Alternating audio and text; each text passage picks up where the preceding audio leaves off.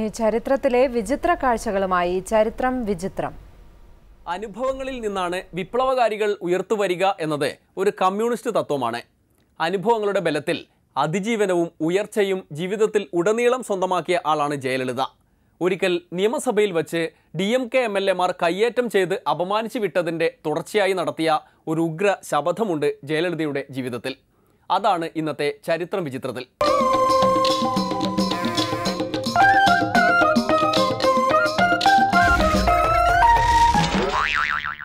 ജയലളിതയുടെ ഉഗ്ര ശപഥം. ആയിരത്തി തൊള്ളായിരത്തി എൺപത്തിയൊമ്പത് മാർച്ച് ഇരുപത്തിയഞ്ച് ജയലളിതയുടെ ജീവിതത്തിലെ ഒരു നിർണായക ശപഥത്തിന്റെ ദിനം. തമിഴ്നാട് നിയമസഭയിലെ ബജറ്റ് ദിനമായിരുന്നു അന്ന്. സ്പീക്കർ ബജറ്റ് അവതരണത്തിലേക്ക് കടക്കുന്നതായി പ്രഖ്യാപിച്ചപ്പോൾ മറ്റു ചില അടിയന്തര ആവശ്യങ്ങൾ ഉന്നയിച്ച് ജയലളിത എഴുന്നേറ്റു. എന്നാൽ ഇത് അവഗണിച്ച് കലൈഞ്ചർ കരുണാനിധി ബജറ്റ് അവതരണം ആരംഭിച്ചു.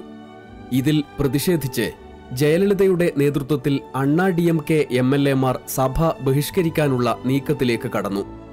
അതിനിടെ ഡി എം കെ അംഗങ്ങൾ ജയലളിതയെ കയ്യേറ്റം ചെയ്തു.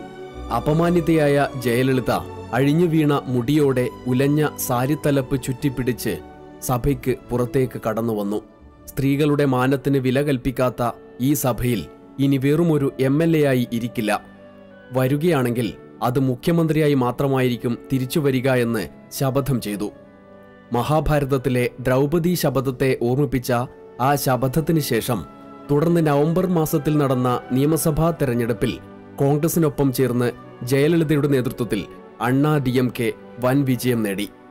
ഉഗ്ര ശപഥത്തിന്റെ തുടർച്ച എന്നോണം അതേ നിയമസഭയിൽ ജയലളിത മുഖ്യമന്ത്രിയായി തിരിച്ചെത്തി.